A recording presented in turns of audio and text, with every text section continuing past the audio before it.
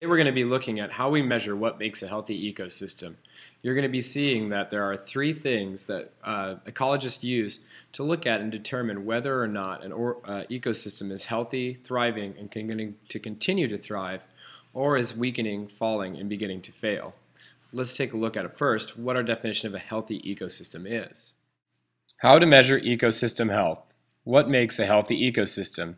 A healthy ecosystem was one that keeps a steady diversity of organisms and cycles through nutrients.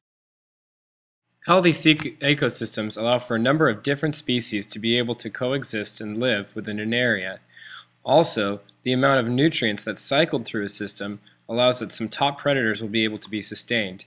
There are three main ways that a health of an ecosystem is measured. How do we measure ecosystem health? The amount of producers. More producers can support more consumers. More producers in an ecosystem mean that more consumers can be sustained and leading to a greater number of consumers. The amount of detritivores. More detritivores means more nutrients can be cycled through to producers. Detritivores will actively break down the nutrients and return them back into the environment. This process is incredibly important as it continues the cycle from nutrients to producers. The amount of biodiversity.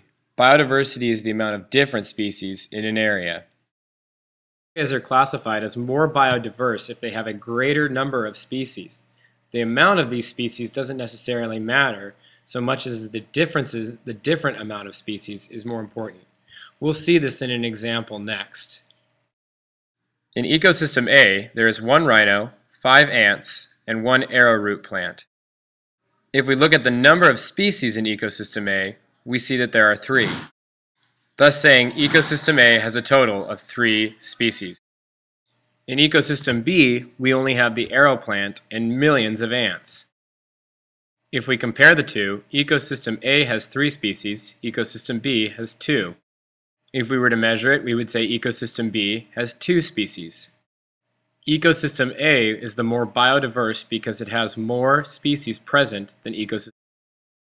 Your challenge tonight is going to be two questions. One, why might a high amount of diversity indicate a more healthier or stable ecosystem? And the second, why is it really important to have lots of producers in an area for an ecosystem to be healthy and thriving? Have a good evening.